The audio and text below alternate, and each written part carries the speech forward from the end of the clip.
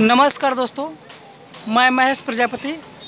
हमारे YouTube channel पर आप सभी लोग का स्वागत है।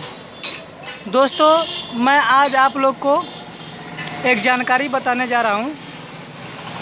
जो लोग सीख रहे हैं, वो लोग ध्यानपूर्वक इस वीडियो को शुरू से अंत तक देखें। और जो लोग मेरे चैनल को अभी तक सब्सक्राइब नहीं किए हैं, वो लोग सब्सक्राइब कर लें। बेल आइकन बटन को दबा दें, लाइक करें मेरा वीडियो अच्छा लगे तो कमेंट में ज़रूर कुछ लिखें। तो दोस्तों, मैं आप लोग को यही जानकारी बताना जा रहा हूँ कि जो सेल्फ कटआउट है या सेल्फ से गाड़ी स्टार्ट नहीं हो रही है तो आप इसे कैसे चेक करें कि मेरा सेल्फ ख़राब है, या सेल्फ कटआउट ख़राब है, या स्विच ख़राब है। तो दोस्तों, मैं सबसे पहले आप लोग को बता दूँ कि आप यदि सेल्फ को चेक करना चाह रहे हैं तो आप कैसे चेक कर सकते हैं? देखिए, जैसे कि आप गाड़ी कौन है, आप देख रहे हैं, और जो है कि आपको जब स्टार्ट करना है, अगर सेल्फ चेक करना है कि सेल्फ सही है या ख़राब है तो आपको इसमें जो है, दोनों साइड से जो है, इसमें पेचकस अगर आप सटा दीजिएगा तो आपको पता चल जाएगा कि मेरा सेल्फ ख़राब है कि सही है। दोस्तों, जैसे आप देखें कि गाड़ी स्टार्ट हो गई। देखिए अब प्लस वाला जो तार है, ऐसे करके इसमें जाता है। और यह जो है, आप जो देख रहे हैं, यह जो है, इसमें भी सेल्फ में चला जाता है।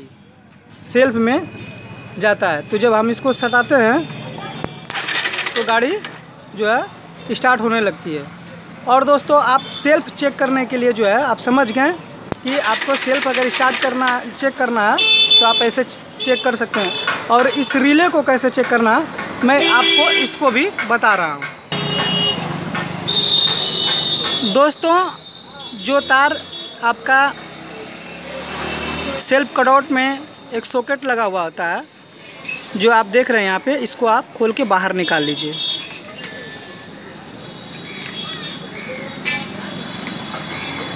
दोस्तों, इसमें जो है, आप जो देख रहे हैं, एक लाल तार है और एक ब्लैक तार है। जैसे कि देख रहे हैं, लाल पीला धारी में है और एक ब्लैक तार है। तो दोस्तों, जब इधर वाला जो आप लाल वाला तार देख रहे हैं, दोस्तों, इसमें करेंट आता है। जब उधर से रिटर्न आप जो स्विच दाबते हैं, सिल्क का स्विच दाबते हैं, तब इसमें जो है करेंट आता है। और दोस्तों, यह अर्थ है, काला वाला। तो दोस्तों, यह काला वाला अर्थ है। तो दोस्तों, जब गाड़ी न्यूट्रल रहती है तो इसमें अर्थ ऑटोमेटिक आते रहता है। और जब गाड़ी गियर में हो जाती है तो इसमें अर्थ नहीं आता है। तो आप सेल्फ दाबिएगा तो गाड़ी स्टार्ट नहीं होगी।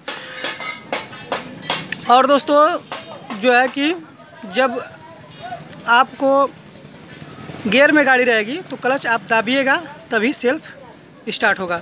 तो दोस्तों, मैं आपको, आप लोग को सेल्फ कटआउट चेक करने के लिए बता रहा हूँ कि सेल्फ कटआउट सही है या ख़राब है। तो दोस्तों, आप जो सॉकेट देख रहे हैं तो आप एक ब्लैक एक लाल, दोनों में दो तार आप लगा लीजिए। जैसे मैं दो तार लिया हूँ, इसमें दो तार लगा लीजिए।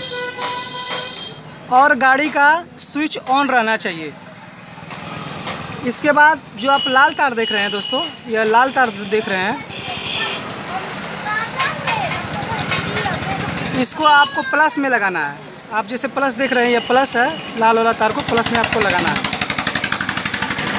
लाल वाला, इधर आपको प्लस में लगाना है, जिसमें लाल में जो रखे हैं, आपको प्लस में लगाना है। जो ब्लैक में है, उसको अर्थ लगाना है। कहीं भी आप अर्थ लगा सकते हैं। जैसे कि बैटरी में भी आप अर्थ लगा सकते हैं। देखिए आपको, दोस्तों, आप लोग को पता हो गया होगा कि सेल्फ रिले कैसे चेक किया जा सकता है। देखिए, फिर से हम आपको बता रहा हूँ एक बार कि आप एक ब्लैक वाला में तार लगा लीजिए और एक रेड वाला में लगा लीजिए। और रेड वाला को प्लस में सटाना है। जैसे आप प्लस देख रहे हैं, बैटरी का प्लस यहाँ पर है। और जो एक तार ब्लैक वाला में है, उसको आप जो है, आप जो है अर्थ में सटा सकते हैं। अगर, दोस्तों अभी चाबी ऑन नहीं था। अभी हम बैटरी से डायरेक्ट चेक करके दिखा रहे थे। और मैं, देखिए, जब चाबी ऑन हो जाएगी तो आप अगर चाबी ऑन करके अगर इसमें सटाइएगा तो गाड़ी आपकी स्टार्ट हो जाएगी।